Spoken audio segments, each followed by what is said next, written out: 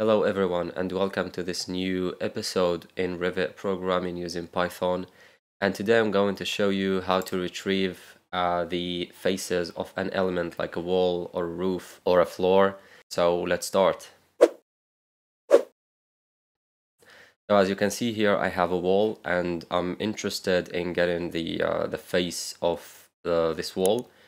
Uh, so usually we're not interested in these narrow uh, faces on the side of the wall. We are either interested in this external face or in the internal face. So I'm just going to show you how to do this really quickly and easily. So to start I'm going to select the wall and go to RPS and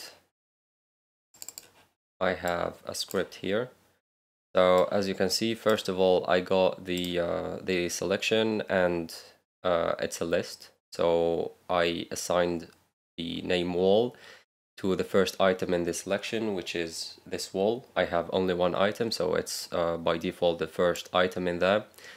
And uh, then what are we going to do is to go to the um, the Revit API docs and go to host object utils class. Here is the definition. It gets the generic host object utilities. If I click on member, I can find only methods here. I have the first one, which is get bottom faces. And here it's get side faces. And the other one is get top faces. So basically we have a wall, so we're not interested in the bottom or in the top faces. We are interested in the side faces. So as you can see here is the syntax and this method takes two arguments. The first one is the host object, which is our wall, and the second one is the side. If I click here, uh, you can find the members of the shell layer type. We have interior and exterior. So the way to use this uh, this method is going to be, as you can see here. So I assigned it to ref so the name of the class and then dot the method the name of the method which is get side faces. And then as we said the host object is wall. And shell layer type dot exterior because I want to get the exterior face. You can type interior if you want.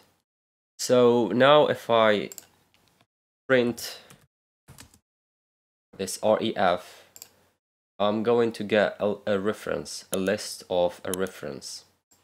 So it's not a face, it's a list of a reference. The way to get the face is basically we can go to we can go to the element class. If you click on members and you scroll a little bit down, you can find something called uh, what is it?